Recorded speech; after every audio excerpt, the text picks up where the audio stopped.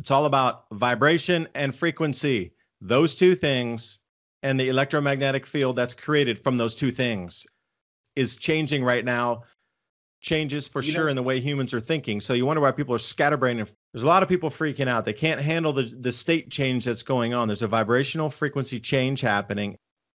The frequency they're held in or were born in, it can't hold that frequency state. And this is the reason they're losing their minds. Why are in such psychosis today? And it, it's kind of permeating through the the fabric of society and i literally mean the fabric the base vibrational fabric of society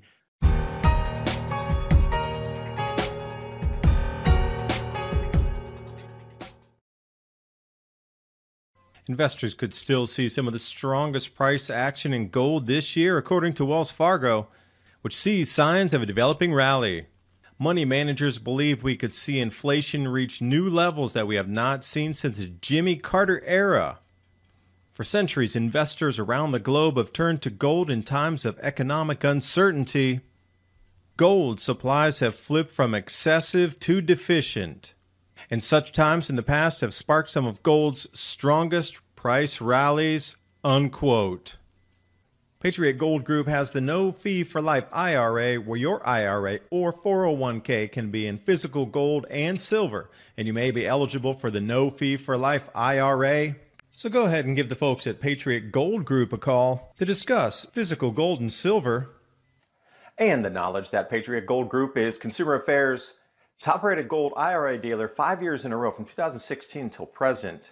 Click the link in the description box below for more information and now on with the video. We are repeating cycles of time. And you know, T, the, the cuneiform texts talk about what were previous societies on Mars. And then the tech was so good that they were able to jump planets and recolonize a different planet here, Earth. But what when we go to next star system over, if we jump off out of our own solar system into the next closest star, the next closest two or three stars, you know, we really don't get a lot of information or ancient texts about what existed in terms of orbits and the planets and civilizations on those planets interconnecting with our own, except for sci-fi. You know, and then then you start to really wonder the 500 years of marauding, Vatican pillaging all artifacts centralized into a few hands, a few libraries, a few museums. What's the true story about what we know about off planet? And when I say off planet, I should say other other solar systems, other stars, and orbiting bodies around there we've interacted with. You got to go to the sci-fi realms. You know, another thing I was thinking of is there's another show, and, and it happens to have the white-blooded android fake uh, living creatures and people too. It's it's Westworld, but I was just thinking in that show they kind of have that scenario you're talking about. It seems like at their point, at least in that show, they could the the elite couldn't convince human beings which i don't think they could at this point or at least this generation with the knowledge we have that they're gods. We wouldn't buy it. I think we would ask too many questions. We're that kind of people. However you know maybe they got tired of messing with humans like because we wouldn't worship them as gods and then they'll just make their own people little automatons that think they're human and uh, even in these shows you notice they always put the robotic or android or synthetic life form having a bunch of emotions and having an obsession with their creator, which is humans. So it's like another another one of those things through Hollywood that they're trying to indicate that you know they want to be worshipped as gods or they think they're at the god point. That's what I'm saying. I don't think our generation would buy it. I don't think somebody born in my time or your time would buy it. I don't even think I can believe if I saw a flying saucer crash right in the street in front of my house and some kind of alien thing came out of it, I would still question it because I think human beings now possess power enough to fly around like that. And I know we know genetics. I'm I wouldn't doubt it at all that they created something that would look alien that could sit and pilot something and try to fool me into uh, giving up whatever last freedoms I have. Yeah, you bring up the point, and when I say that, no BS assessment here. There is an enormous amount of electrogravity technology. The proper term for it is electrogravitics. And if you want to look into that area of study, you know, Nikola Tesla, Marconi, you know, the wireless radio, they all were into that circa 1920, 1930, pre World War II. You know, you hear Marconi and you, you understand the most famous thing that what's Marconi remembered for wireless transmission of signal, but their apex of what he and Tesla were working on together was anti gravity technology. But we're talking in the 1920s. And they were using opposing spinning disks.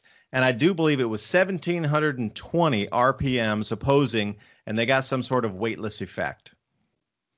Well, fast forward in World War II, and after the Allied forces marched into Germany, they found an enormous amount of these rings, if you will, that had chains on them that had tethered something that was working with the same electrogravitics. And you tell me that from 1940, and you know Dr. Brown in the 1960s perfected that, and now we start to see a few other things in the skies. I believe almost all of it that we're seeing is ours. But I will say the same point again that I harp on again and again and again when I talk about electrogravitics. If we had the technology for the last 80 years, let's say, I'll even say 50 years, let's just say back into 1980 or something, 1970, and we had the tech perfected after they found it in the 40s. Airplanes, we would have no need to even really buy a ticket at that point, except for some operational costs for individuals. There'd be no fuel cost for it. Anything to deliver, there should be no cost for that either. Either running rail across the seas, you could speed that delivery because it's weightless, so you don't need the fuel. And if you did, it would be such an insignificant amount to move an almost weightless object. Your cars, the way everything is powered. Oh yeah, and mention power. One of the uh, the benefits of having the opposing spinning discs, if you put some copper on that, it would create electricity as an off charge. So you'd have free power for your homes, businesses, factories forever in perpetuity, never need to buy electricity ever again on a centralized system. But then we can go the flow back. There'd be no copper cables up there, and you could daisy chain this back as far as you want. And think about the effects on your life and generations, the effects on generations if we would have had free power and almost no delivery costs and almost no manufacturing costs except for the base inputs. Because even the mining machines, you know, there's a lot of weight involved with moving rock around on a mining site. So imagine if you could take that into a weightless state, electrogravitics, and I'm going to say until my dying breath that this is a suppressed technology that is probably going to pop out. And that's the reason for a lot of release of the UFO documents and all this stuff the CIA is trying to release. Two million of those documents, two million pages. There's 10,000 pages in that packet devoted specifically for electrogravitics, how these things float. They might call it float, move, hover, whatever you want to call it, but it's using the electromagnetic technologies, I should say, that have been hidden from a lot of us. I'm the same, Rance. If one crashed out in front of me, I would say, "Welcome. Uh, let me go see how you're. I want to see what powers that thing and bring it into my house, reduce it down, and have free power for the rest of my life." You know, when we talk about that, it's not even that far fetched the fact that the government has a whole list. You could go check it out yourself and just look this up. There's a whole list of inventions and next level technology that go back a hundred years that the government has been taken away from the inventor, banned. They call them disruptive technologies. Anything that would forward the cause of, you know, individual liberty and power, and I mean power like as in being able to power to create and live and not pay bills, they will outlaw it, and they have been doing that. For anybody to doubt that they don't have next level technology is kind of naive to me. And the fact that there's been so many eyewitnesses of things in the sky leads me to believe that somebody or something is in fact flying a lot of stuff. Now, for me to say it's an extraterrestrial, I don't know about that. However, I don't discount the idea. And then also, our government seems to be pretty convinced that there was, at one time at least, um, extraterrestrials on the planet. And if you read any of the writings of the ultra elite, you can take your pick of some pretty famous names. They all believe the same thing. And then when you get into, you know, ancient tales of the Sumerians, um, and even before that, they're talking about gods. Every primitive civilization talks about gods that look just like men. They live, they die, they bleed, they have children, tells me they're biological. So either they're a different type of human being that one time had uh, high technology, or it is in fact extraterrestrial or interdimensional. People like to be pretty fanciful with ideas, but you don't have to really get all that fantastic to see that it's very possible and most likely a possibility when you just look at the evidence of previous human beings on Earth. They still haven't even explained why Cro Magnon walked out of wherever it walked out of completely modern as a human being with no lineage that they can find on the earth. I mean, not really. They try to link us to apes and different things. However, there were these other humans that have hundreds of thousands of years of history in the bone and fossil record. So we know they were here, but you don't know what about modern humans? They just kind of pop up. And then since we've been here, we've been, I'm going to say, devolving. We've been coming, our bones are less dense, our muscles are less strong. We're, we're uh, mentally inept compared to people like say in the renaissance still or even you can even go back 200 years and people's iqs and intellect far outmatch people of today and i hate to say that because i'm one of those people that live today but i know that i couldn't compete on an intellectual level with some of the people that lived in the distant past and these people were agrar- agrarian societies all the way up until about 150 years ago agrarian societies. And every time their agrarian society failed, their whole civilization collapsed, just like you said. It's all about the food. And we're at that point now. And I was wondering, you know, we talk a lot about the future, but I'm going to go ahead and reach out on a limb and say that the time for being prepared is like today. If you're not prepared today, you're probably five years late, but you know, there's still time. But I, am saying that we're going to have to go through hard times, whether it's elite created, whatever you want to talk about, or you know, we have some things that happen that are just out of our control, like the sun, the galaxy, the planet. You know, we could have a new volcano that just burps so much stuff in the atmosphere. We have what's equivalent to a nuclear winter for decades. It's a possibility right now. If you're looking at the greater scheme of things, could you fault the human race for living in a lower magnetic field when you talk about these electromagnetic changes that affect the electric charge that is in the hemispheres of the brain, where we sit right now in terms of how strong our field is on the planet compared to 200 years ago, we're down substantially about what 35% lower magnetic field than what 200 years ago somebody in the early 1800s would have been living in. And if you go further back in time, the stronger the magnetic field it is. And, and as we wander toward this, A, either onset of a new ice age, or B, a magnetic, I, would, I don't know if i want to call it an entire polar flip, but huge wanderings of the magnetic field, loosening of the magnetosphere. This affects us as the human resonant field as well, electromagnetically. So you got to think about how does the brain function, and we all are we're taught in school, and we all pretty much know it's electrical.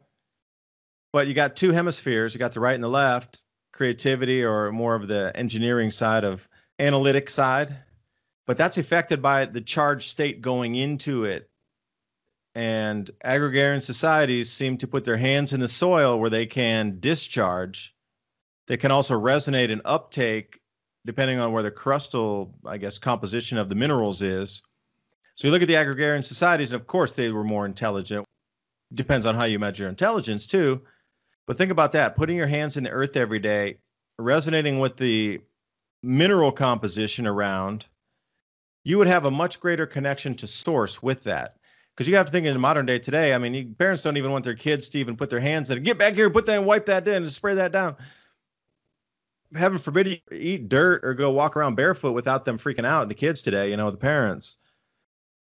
So think about the changes that are coming electromagnetically. Like look at this unusually high lava fountain that's coming off Iceland. I don't know if anybody's seen the video. I'd highly mm-hmm. encourage you to watch the video. We're, we're used to lava fountains, and when you see a lava fountain, you know, it's usually, I don't know, 100 feet tall, maybe. Like Etna's a really good one. You see the stuff shooting out. But you can't tell me that this thing went up 1,500 feet straight up and just made this gigantic Roman candle coming out of the mountain. That was the most amazing video that I think I've seen for volcanism in, in quite some time. These are the electromagnetic changes that are here. Our crust is going to get loose. We're going to see a lot of pipeline breaks, a lot of bridge rips, a lot of railroad tracks going awry, and a lot of road cracks. And people are going to try to say, why is that happening? Well, of course, the mainstream media is going to have a thousand million excuses for you. It's all about vibration and frequency. Those two things and the electromagnetic field that's created from those two things is changing right now to the point that it can be measured and not like fractions of a 1%, like a one nano Tesla difference. We're talking about actual full percentiles changing and not 1% down, but like 10%, 20%, 30% down. They're expecting the full resonance from the magnetic field, the primer field on our sun to be collapsing by 2030. Do you know the solar wind stopping completely by 2030 for at least periods during months or years? Can you imagine if there's zero solar wind, our magnetosphere would not be compressed. That thing is going to blow off. I don't even know what to expect if there's no solar wind. These are the changes that they're talking about. And I want to say they, I'm talking about scientific bodies, governmental bodies, central bankers are talking about it as it'll affect their bottom line and things in between that are might go bump in the night. Changes for you sure know, in the way humans are thinking. So you wonder why people are scatterbrained and freaking right now. There's a lot of people freaking out. They can't handle the, the state change that's going on. There's a vibrational frequency change happening, and the brain was set at like 106.5 for a radio station.